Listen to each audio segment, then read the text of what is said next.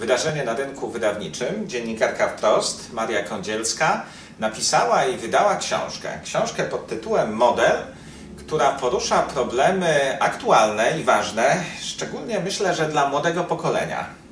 Dzięki Jacku.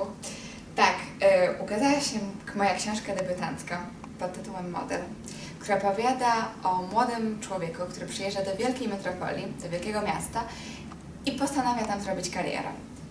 Jego jedyny pomysł to zrobienie kariery modela. Staje się modelem zarówno męskim i żeńskim, a przez to poniekąd traci swoją tożsamość i nie do końca wie kim jest. Ta historia dotyka problemu granicy między kobiecością a męskością, jak również obecnej tendencji androgenicznej, tego jakie są warunki, jakie warunki kobiecości, a jakie są męskości. Do tego, mój, do tego stopnia mój bohater jest zagubiony, że występuje w jednym z, w jednym z pokazów w sukni ślubnej.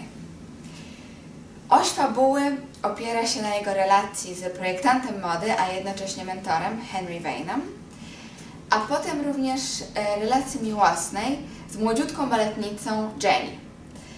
Przy czym e, przez długi okres nasz główny bohater traktuje tę baletnicę i tę miłość jako przeszkodę w realizacji kariery, e, a ją jako taki estetyczny dodatek do wszystkich, wszystkich wyjść, e, bankietów i pokazów mody. Potem to się po części zmienia. Będzie mi bardzo miło, jeśli sięgniecie po tę książkę. Wydaje mi się, że jest ona em, dobrze odpowiada na współczesne problemy młodego czytelnika, głównie tego, który zastanawia się, co zrobić ze swoim życiem, który zastanawia się nad projektem em, siebie. Obecnie coraz bardziej kreujemy siebie, widać to w mediach społecznościowych, widać to na Facebooku. To samo robi mój bohater.